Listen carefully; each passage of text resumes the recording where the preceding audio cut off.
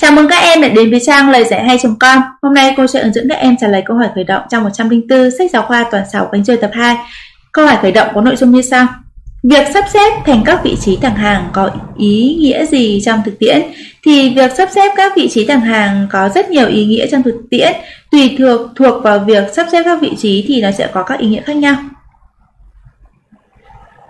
Ta thấy rằng là việc sắp xếp thành các vị trí thẳng hàng nó sẽ mang lại tính thẩm mỹ cao này, tính khoa học, tính công bằng.